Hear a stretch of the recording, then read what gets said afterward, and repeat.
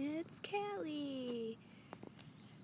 One of the last nice days of the year, and uh,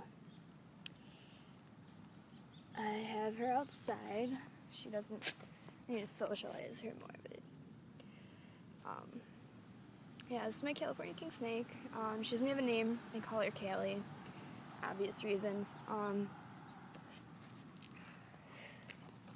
yeah, she's she's not even really mine. She's my brother's, but she started biting when we uh, first got her, so he was too scared of her. So she's mine now. Um, she should have been dead. She should have died twice. Actually, king snakes are troopers. Um, she, we, uh, sh- I was giving my ball python a bath because they were both in shed, and she was in next in line for a bath, and uh,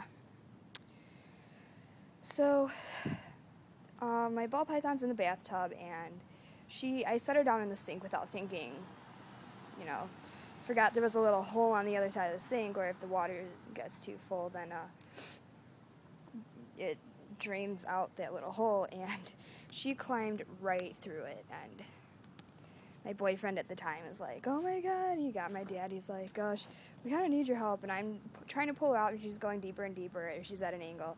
I literally pulled the shit out of her, um, and she shed. Also, I kind of helped her shed as well.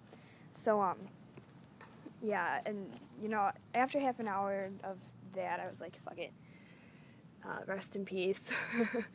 a week later, my mom's knocking on my bedroom door and she's like, uh, Melissa, there's a snake on the laundry room floor and it's alive. so I rush down to the basement and I see her and she's trapped in a mouse trap. She's fucking, like, after I thought she was dead for a week, so I'm like, oh my god, oh shit, she's gonna be dead again. It's her face, just the way that she was stuck. There was no way in hell that it looked like she was going to survive it.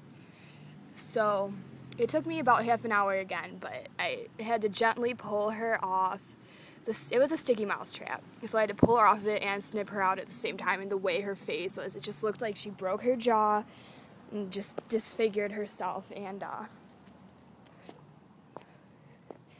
yeah, but, and she bit me as soon as I got her off because that was fucking painful. But yeah, just soak her for a good two hours to get the sticky off. Um, where are you going? um, so yeah, here she is all she has on her is a scar. Um, you try to find it. Where's your scar? She's kind of skinny. She's really young still. Um, I can't find. Oh, there's her scar right there. That um, dark spot. I don't know. You can't really tell. It's not a bad scar. Um, but yeah, that's really um, the only damage she had from that.